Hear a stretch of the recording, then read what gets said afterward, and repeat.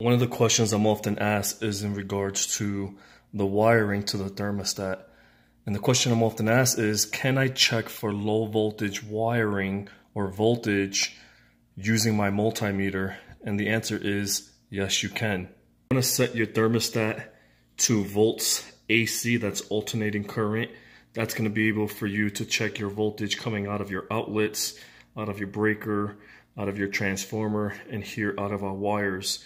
When you look at volts DC, that's going to be for direct current, and that'll be more for like your batteries, 9 volt, AA, etc. Here we just want to check the voltage going to each terminal.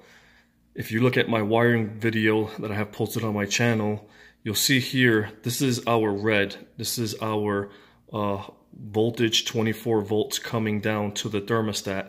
Now we can easily check this by going from our red to our green. Our green is going to be our blower motor. So you can see here I have 26.9 volts.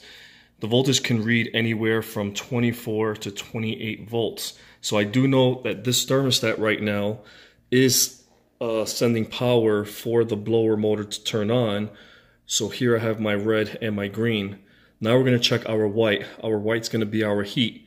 So you can see here when I tap the terminals, right now I have 26 0.9 volts. Now we're going to check the voltage coming to our uh, AC or our condensing unit. And here we can see when we touch our terminals, 26.9 as well. So you can check the voltage off of your thermostat if you have your multimeters. As I stated before, you want to be within 24 to 28 volts. If for some reason you're not getting a voltage reading, you can see here I'm getting a reading of zero. There can be many reasons why that's happening. If you have a furnace board, you may have a faulty furnace board. It may be that your breaker's tripped. If you find that you're going to each terminal, you have your 24 volt coming in and you're taking that lead and you're testing each one. So here I have zero. Here I moved it over. I have zero. Here I moved it over.